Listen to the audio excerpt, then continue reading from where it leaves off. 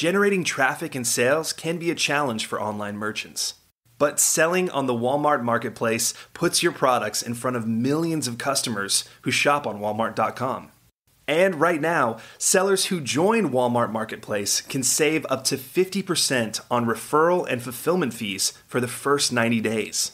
So get started today. Head over to marketplace.walmart.com/savings. That's marketplace.walmart.com/savings. Welcome to E-commerce Conversations, a weekly podcast from Practical E-commerce, hosted by entrepreneur Eric Bandholz. What is going on, Internet? Eric Bandholz back again with another e-commerce conversations. I hope all is going well on the other side of the internet. On the other side of the table from me, Paul. Hi, Eric. What's up, man? Good to be back. Yeah, yeah. Been third excited. time's a charm. Is what they say. First two are disaster of podcasts. I thought they were great. On my drive back up here, I re-listened to the first one, and we recorded that three years ago. It's Was it? Yeah, it's amazing. Time flies, first of all, but second of all, it's awesome to have that milestone to go back to to like listen to my enthusiasm before like stuff started getting hard. You know. yeah, has it gotten harder for you? I mean, you make it look so easy. So when I say hard, growth is hard. Yeah. growth is hard. We're doing very well, but managing growth and scale comes with a lot of challenges.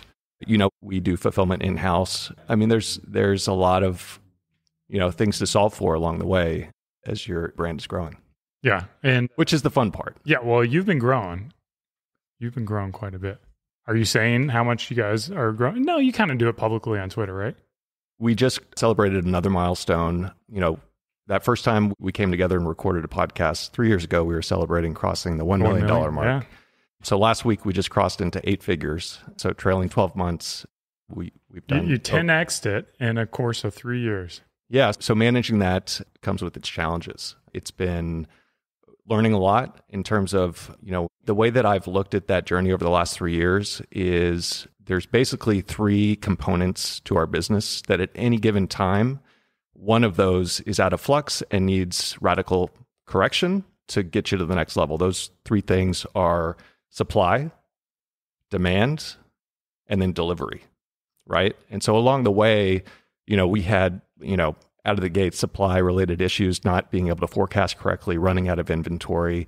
It's a good problem to have, but it, it's it's a big problem. So that and of course, as you know, the freight issues of I don't even know what year it was, 2021, whatever it is, containers skyrocketed in price. It was taking ages to get product in.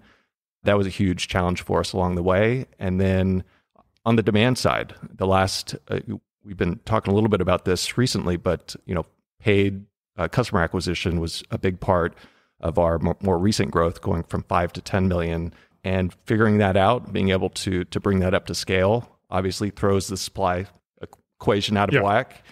And then delivery, our capacity to deliver, we're doing fulfillment in house. Our capacity to deliver goods and packages to our customers, get them out the door, it's reaching a new level that I never thought it would. And you know, last month we we shipped out over twenty thousand packages, which blows my mind. Yeah, that's like a thousand a day if you're working five days a week. a lot of that came within short windows, and so we kind of have a daily baseline, but we're still dealing with huge spikes with various events and launches.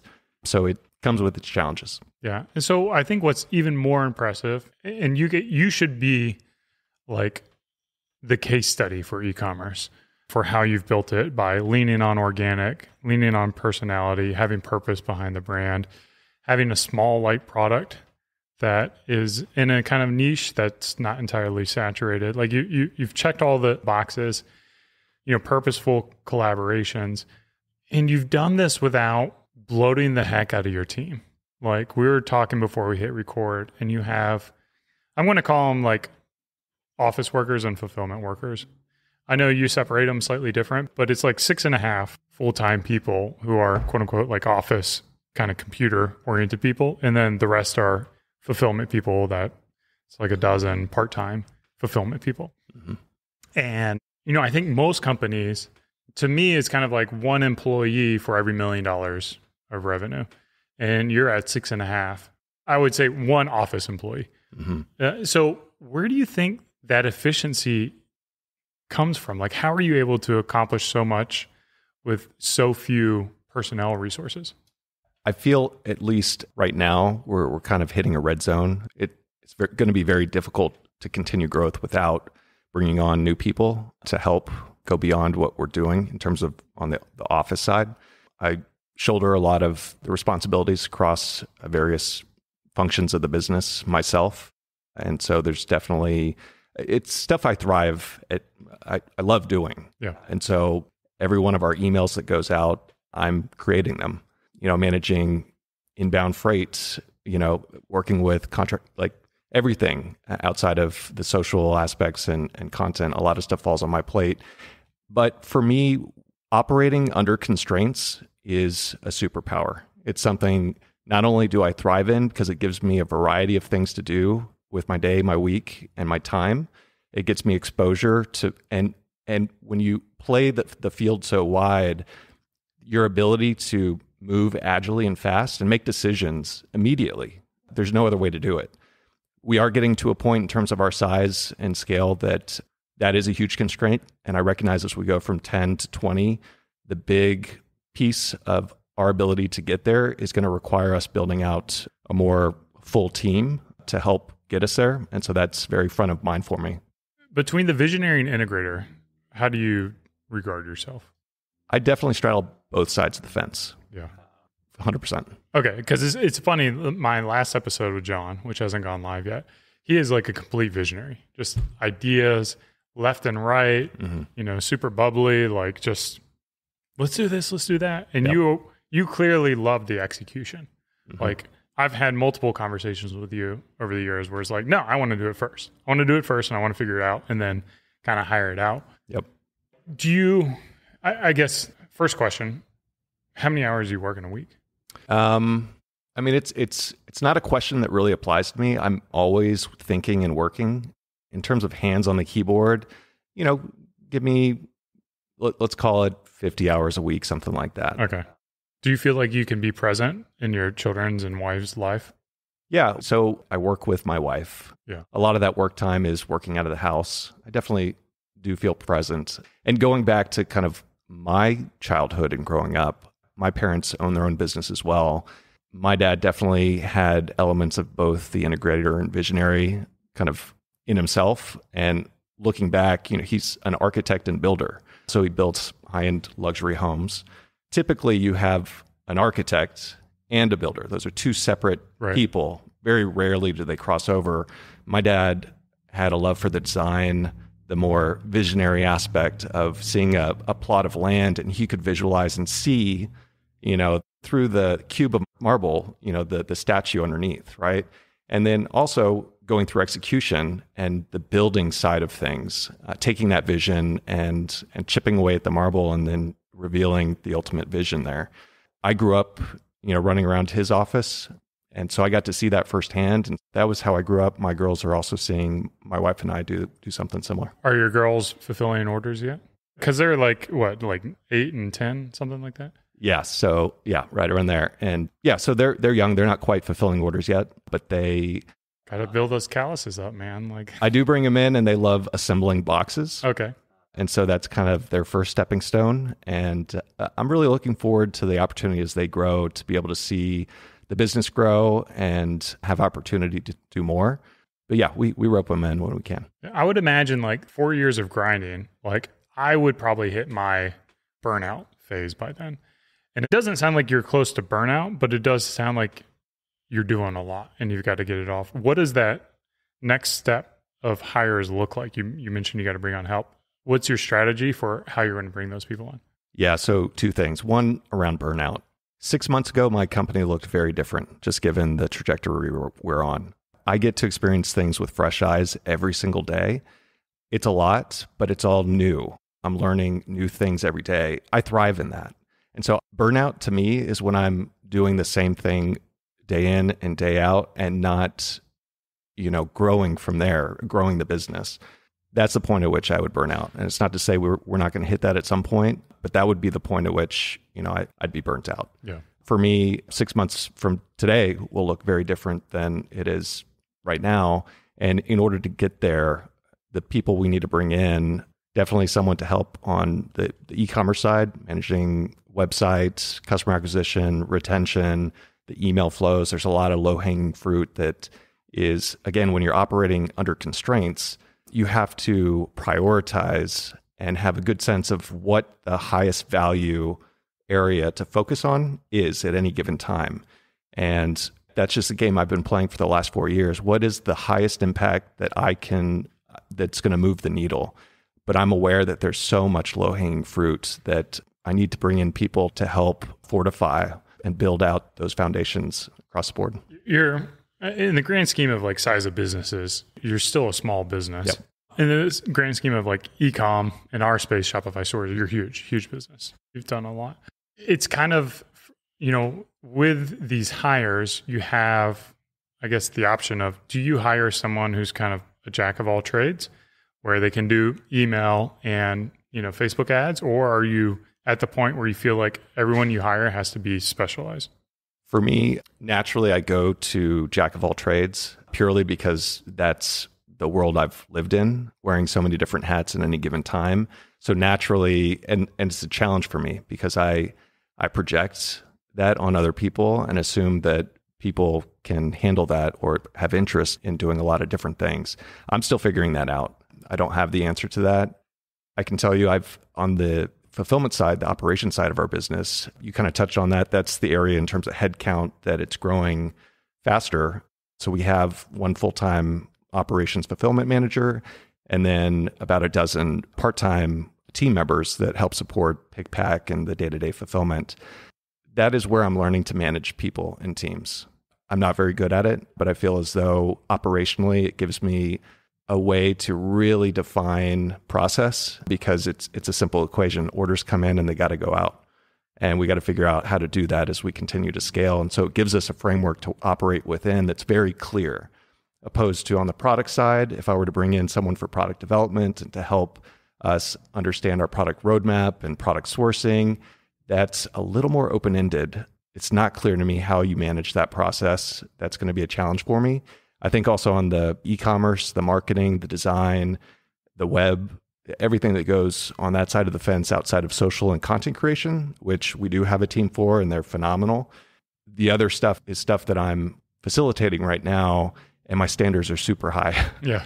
and that is going to be a huge challenge. So going forward, I need to figure out how to bring in the right people, whether they're jacks of all trades or specialized.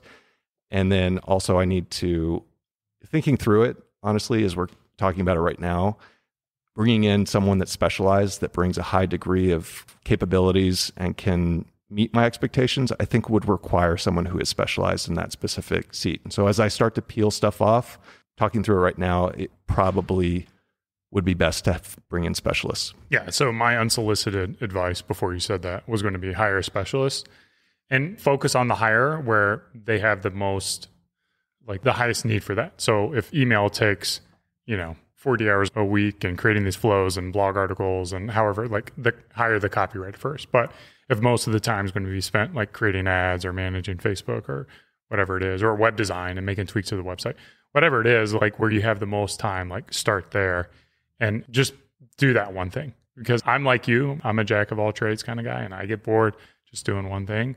But like finding the person who's good at web design and copywriting and ads. Like they don't exist. And or they would be they they're you and me. Yeah. We do exist, but we're not working for anybody. So yeah, I would say like at your size business, especially doing, you know, eight figures, like it's certainly the time to be specialized and go from there. I do want to segue into one of the big things that you've been doing to grow, which is TikTok, TikTok shops specifically. And you're the only person in the world who's talking about it. I'm not hearing much about it. I think it is super early days. It is the pioneering time of something new that's coming out. We've been on TikTok shops for about a month and a half now. Prior to when we first got on, it was before Shopify had rolled out their native integration, which they just did uh, a couple weeks ago, maybe two or three at most. But it is still definitely early days. We found some initial success. And that's another thing operating under constraints. For me, what was the next thing for us was getting onboarded into Amazon. I was midway through the process. I was actually working with their, I forget what they call it, but they have teams that help emerging brands that are established get on. So we had support internally from Amazon and we're holding regular meetings with them. And it was actually a couple days ago when I emailed them and said, you know, we're going to push this to next year. You know, thank you for your help. Yeah. Good for I need to radically focus on an area of the business that more aligns with the DNA that we have to offer, right? So, our origins, we started working with content creators on social platforms. And what I'm seeing across TikTok shops is it's just for us as a brand, where we've come from and what our superpowers are. TikTok shops really plays into that well, and we're seeing a lot of success. And so, yeah, right now on any given day, it makes up about 15% of our total business today. And so, and that's growing. There's a lot of benefits right now. TikTok is spending a lot of money subsidizing, basically extending discounts to buyers on the platform up 20 to 40%. And that is helping with conversions, getting people adopted in terms Like you of, don't have to pay for that. Oh, it goes right? in my pocket. That's crazy. And they're offering free shipping, which goes in my pocket. Yeah. So there's a lot of benefit getting in right now with TikTok shops. They are in the process, and I tell like as we get closer to holiday, you're going to see them go crazy because this is this is when they're trying to make their mark, and they have three sides of the stool to try and get convinced that TikTok shop is where they need to invest their time and resources. One is on the brand side, the merchants, right? What we're talking about. The other, obviously, is the buyers. You have to convince them that, hey, I can actually buy legitimate products from brands directly on TikTok shops, and the experience is going to be, you know, what I expect and an ideal experience. And the third is content creators that are already operating on TikTok now have the ability to continue to talk about the products that they love and they're sharing with their audience, and now gives them an opportunity to make commission and earn income from doing that because the transactions happen right there. And we're managing now an affiliate program within TikTok. And some of the creators. What, what kind of range of commissions are you doing for that? So, as you know, we've been running an affiliate program off of TikTok, just your standard thing. We're working with ShareASale. And so that's how we've compensated people on platforms like YouTube and, and beyond to make a living talking about our products. On TikTok, it never was easy to have an affiliate link. There's no description box mm-hmm. below. You can't really Not everyone goes into the comments. and- Exactly. And so up until TikTok shops rolled out, it was pretty much air gapped. Like we would see a video pop off on TikTok that was talking about us and our YouTube organic traffic would surge because people had to like Google us and be like, who's this brand they're talking about? Okay, great. And we get some conversions.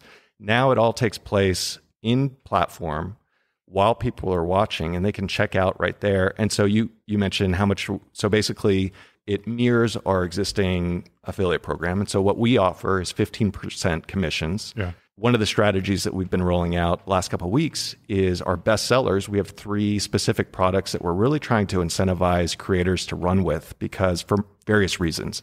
We have a much stronger inventory position. Those are things that we just carry inventory we never want to run out of because they go pretty quickly. And so for those, we're juicing that up to about 25% commission at a SKU level on mm-hmm. TikTok. And we're seeing that really motivate people to get dialed in and continue to talk about those products. And again, TikTok is subsidizing a lot of, of this right now. And so we see that as, you know, gravy that we're able to kind of move around and kind of increase and get aggressive ourselves. So a couple things. I, I want to dig into, you know, kind of like a live version of TikTok. I wish you had told Amazon that you were going to Walmart marketplaces. that would have been like the chef's kiss for me, you know, like, uh, sorry, we want to. Sorry, Walmart. Um, but uh, maybe in the future One that day. will, that will be your conversation. So you before we hit record, you're telling me go to the BK Beauty. Is that what you want me to type into search? Yeah. So I'm on TikTok right now. I got the app pulled up. Yep. And then I guess it takes me straight to the shop. It, it doesn't take me to Yeah. your TikTok page or anything like. Do you have a TikTok page? Yes. Okay. Okay. So So it's crazy. It goes to the shop first. So TikTok is really getting in front of people as much as possible. And so the fact you just search for our brand and we're presented our shop out of the gate, I haven't seen that myself, but yeah, TikTok not only is the algorithm, you can tell videos that tag products in TikTok shops are definitely seeing a high lift in terms of their view count I mean, it's natural. TikTok wants to amplify that content. The real magic, and so when So we, hold on. I, I, I want to go through this and ask a couple questions. All these photographs are knockout. Is that a requirement, or is it just pulling the images from your website? Yeah. So there's two components of getting integrated into TikTok shops outside of just onboarding and setting up your account. You need some sort of way to integrate your catalog of mm-hmm. products. And so TikTok needs to sync that up. Uh, right now, we're on Shopify's native integration. Uh, before that, we were using something called Silk Commerce, which was you know something that somebody built out prior to Shopify having a solution. And so being able to sync your catalog, that's what you're seeing. And so it's just a mirror of of our existing Shopify line of products. But they wouldn't mind, like, because ours is, is on a like a light blue. That would be fine if it. Yes, it would Okay. be. Mhm. Like Amazon, I think they've. These got, are like- just our stock product. So I go here and then I click on a product, and it's just like a very simple PDP yes. designed by them. You don't have. Uh, how are the reviews being fed in here? These are all TikTok reviews purchased on TikTok. Yes. So like it's saying, you know, like you have like if I go back to the, here, it says you did 1.1k sold. So those are actually sold on TikTok. I haven't even seen this, but yeah, so they yes, that, that is all on TikTok. Okay, that's crazy. And that's you're just looking at one one product, right? Okay, so then you come in. These images are just pulled from Shopify. Do you identify which ones you want to go live? Do you have to keep them square? You have to sync them. No, uh, no. Um, ours are not even completely square. So no, you don't. But let me throw something out. So you're looking at our actual shop right now, which is important. It's a showcase of the products on the brand's page. The magic really happens off of what you're looking at right there. The magic happens when creators, at least for us, what we've seen, when creators, um, prior to TikTok shops being available, we had a you know dozens and dozens and dozens of big creators talking about our products and using our products on TikTok. Again, there was no kind of clear path to check out. You know, there was some conversions. I looked at it at top of the funnel awareness, TikTok. Now TikTok has really started to come down and capturing the entire funnel down to the actual transaction itself. And so it's we have um, I'll give you an example. One of the biggest videos that we've seen so far, it had at least at this point about 1.7 million views. So it was a sizable video. It was a content creator that put it out maybe two weeks ago, last week, something like that. It's generated, you know, low five figures in terms of sales. It's put a good deal of commissions into her pocket. But that's where the sales are coming from. It's coming from the ecosystem of content creators that are talking about products they love. And now they are enabled to monetize that more effectively and share that with the customers that are engaging with their content online without having to leave the platform. Yeah, you know what's crazy is like we've kind of leaned on affiliate. That's been one of our growth strategies this past year. And we found that essentially influencers don't convert at all. We had better luck with like blog articles. And I think it's simply a product of, you know, like they don't see the affiliate link to click on, anything like that. So this really does like change the strategy for how you acquire customers because you can just do it all natively through TikTok. And do you find that this is pretty similar to Facebook Shop? I don't. So we are also on Facebook Shop, Meta Shop, Mhm. whatever it's Yeah. being called these days. Instagram. And it's one of those things that I, I set up. We even have ads running people to check out natively there, but it's not something that gets a lot of my attention. It was just, okay, we set it up, we have it great. Whereas TikTok is the, the direction they're building as a, a- what they're trying to build is everything under the hood. I mentioned they have their own native affiliate program that allows you to manage it. Everything from checkout to you know like building demand and awareness. Everything is self-contained within that platform. What TikTok is, and even they're they're getting into the fulfillment game. Hmm. Yeah, TikTok fulfillment is is a thing. So they are trying to own every piece of the e-commerce stack within their ecosystem. And what's interesting is by doing that, they're able to offer something that is unique, that is different from what Meta is bringing to the table. Meta and Facebook have built out the most efficient customer acquisition solution the universe has ever known, right? They are building an advertising platform, and that's what they optimize for, right? How can we acquire customers for people more efficiently so they spend more ad dollars? I see TikTok, they have that too. But what they're layering in right now, enabling content creators to earn a commission on the platform, further incentivizing them to produce more content. Yeah. They, so, like creators on Instagram and Facebook, they don't get commission. Not that I'm aware of. Okay. Not at the same level that I'm seeing on on Meta, at least not in a way that is facilitated by the platform that has mechanics and data that TikTok is actually sharing an incredible amount of data, not only with the brand in terms of transactional data, you know, what videos are performing, but also they're sending this back to the creators as well. And we know that because my wife is a creator and getting spun up, we ran tons of tests to better understand the experience from both sides of the fence.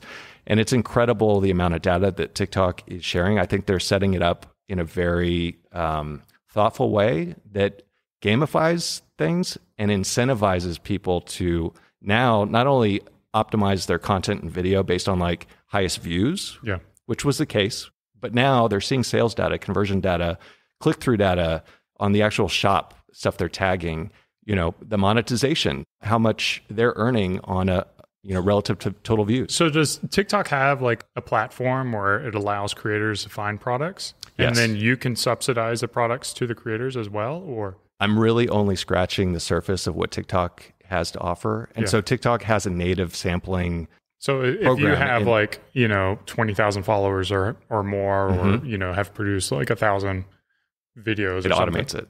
Okay. And so if you're a creator and you're also enrolled in the TikTok shops, which not everyone is first eligible to, yeah. but people who are meaningfully making content and this is their they're all eligible. But it does take steps to be aware that this is an option and to enroll and get set up. Yeah. But yeah, from there you can find and connect with brands that have a sampling program within TikTok. And so for us, we have those three hero SKUs that I talked about. Anyone who meets our criteria, which TikTok has given us the controls to set thresholds, Yeah. What are those criteria for y'all? I'd have to look back. You know, out of the gate, we're we're still in test mode. Yeah. What we have set right now may change tomorrow. We set those thresholds very high just because So high, like 100K high followers? Uh, Like, do you do it on followers or do you do it's it on both. It's average views as well as followers, if I'm remembering co- correctly. There's probably some more options in there, but those are the two big ones. And so for us, it, it very likely is you know 100,000 plus followers, Mm-hmm. and then a certain amount of you know average video views as well. Yeah. Okay. And then so the beauty is that can be automated. So people reach out and they request product samples. It's automated all the way to delivery because TikTok is now able to generate the order Yeah. So it creates an order for you. It just comes in. 100%. It creates the order, it syncs with Shopify. For us, we're leveraging ShipStation to do our fulfillment in house. Hat tip to At ship Tip- station. ShipStation. And so, yeah, everything is synced. And so those orders come in, we process them. And even TikTok, whenever we do product, we do a lot of product seeding ourselves in house. And so not not a formal process like I'm Yeah. describing here that's built into the platform, but we do a lot of outreach, get our products in, into creators' hands. We don't have any sort of requirements whatsoever Yeah. you know we identify people who you know might love our products we send them out with no expectation of posting content just please enjoy tiktok does have built-in requirements part of the sampling process Yeah. and not only that but they are now able to track the order through the tracking number for shipping they know when the order has arrived and then basically set yeah Create some content on this. Make Yeah. some commissions. Yeah. Man, that's brilliant. Like everything is built in I, you know, and you said it's doing like 15% of your sales right now are coming through TikTok. Yeah, we've been on for I mentioned maybe a month and a half. Um, we we have done. Yeah. So nearly, nearly six figures a month. it's getting there. Yeah. Yeah. So we've been on for a month and a half. The last couple weeks have, have been ratcheted up quite a bit relative to where we we were, and so yeah, we we've done over six figures in sales Yeah. uh, so far. I will say, I'm cheerleading a lot right now. Yeah. There's a lot of pain points that come around with you know panning for gold and running for the hills when you Yeah. see you well, know not only that, like TikTok will always like butter you up in the early months, Uh, and then like all the subsidies they're throwing around right now it is very enti- once you once you get on and get plugged in which it can be buggy mhm. So there's a lot of pain operationally once you start to hit some sort of scale with orders and you know say just this last weekend we had 200 orders that for some reason didn't sync over to Shopify. So they were sitting around hmm. and didn't have visibility into them. How did you find that? TikTok notified us and said, "Hey, by the way, you should have shipped this already. You know, you're about Yeah. to get you know dinged for that." And we're like, "Oh shit." You know, Yeah. okay. Does that come in through TikTok as like a TikTok message? Yes. Okay. And so it's not like an, updates. an email as well. hmm Are you the one running your TikTok page? So we definitely have. I mentioned you know small team, but we're all so actually right now in about an hour, our team in house is going to be hosting a TikTok live And I saw that. I where they do. Li- oh, you did? Yeah, yeah. It's at two okay. o'clock. Yeah, there it is. So two hours. And so we're definitely throwing our entire team's focus on this. Yeah. And this is one of these the reasons why you know Amazon just didn't you know meet the threshold in terms of a priority right now. And so we're you know all rallying around trying to figure out this new platform and this new opportunity to see if it's a good fit. And so far we've seen some success and and the biggest thing we're focused on right now is trying to educate the creators who are already talking about us on TikTok Yeah. trying to get them onto TikTok shops because again, from an awareness awareness standpoint, there are so many merchants just not aware and haven't dipped their toe in the water yet.